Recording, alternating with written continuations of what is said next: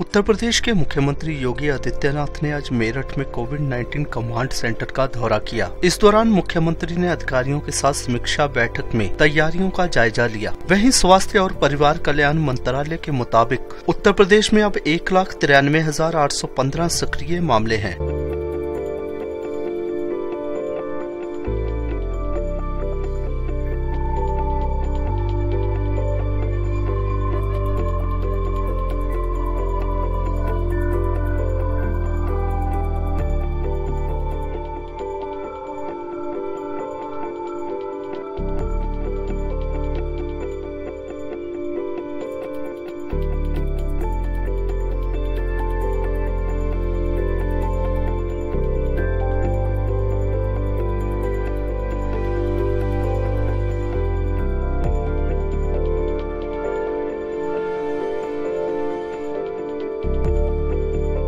ਦੇਸ਼ ਦੁਨੀਆ ਦੀਆਂ ਤਾਜ਼ਾ ਖਬਰਾਂ ਦੇ ਲਈ ਹੁਣੇ ਪਲੇ ਸਟੋਰ ਤੋਂ ਡਾਊਨਲੋਡ ਕਰੋ ਪੰਜਾਬ ਦੀ ਆਵਾਜ਼, ਅਜੀਤ ਨਿਊਜ਼ ਐਪ।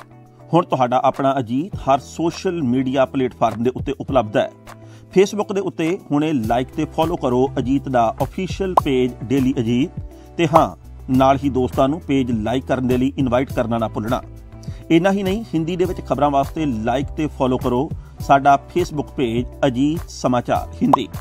YouTube ਦੇ ਉੱਤੇ ਵੀਡੀਓ ਖਬਰਾਂ ਦੇਖਣ ਦੇ ਲਈ ਹੁਣੇ ਸਬਸਕ੍ਰਾਈਬ ਕਰੋ ਅਜੀਤ ਦਾ official YouTube channel Ajit web TV ਤੁਹਾਡਾ ਆਪਣਾ ਅਜੀਤ ਹੁਣ ਟਵਿੱਟਰ ਤੇ ਇੰਸਟਾਗ੍ਰam ਦੇ ਉੱਤੇ ਵੀ ਉਪਲਬਧ ਹੈ।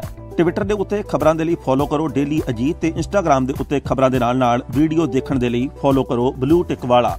ਸਾਡਾ ਅਫੀਸ਼ੀਅਲ ਚੈਨਲ ਡੇਲੀ ਅਜੀਤ ਇਨਾ ਹੀ ਨਹੀਂ, ਅਜੀਤ ਦੇ ਵੀਡੀਓ ਹੁਣ ਤੁਸੀਂ Apple TV ਦੇ ਉੱਤੇ ਵੀ ਵੇਖ ਸਕਦੇ ਹੋ। ਤੇ ਨਾਲ ਹੀ ਅਜੀਤ ਅਖਬਾਰ ਦਾ ਡਿਜੀਟਲ ਐਡੀਸ਼ਨ ਪੜ੍ਹਨ ਦੇ ਲਈ ਡਾਊਨਲੋਡ ਕਰੋ ਅਜੀਤ ਈ-ਪੇਪਰ ਐਪ ਤੁਹਾਡਾ ਆਪਣਾ ਭਰੋਸੇਯੋਗ ਚੈਨਲ ਤੁਹਾਡੀ ਆਪਣੀ ਆਵਾਜ਼, ਪੰਜਾਬ ਦੀ ਆਵਾਜ਼ ਅਜੀਤ।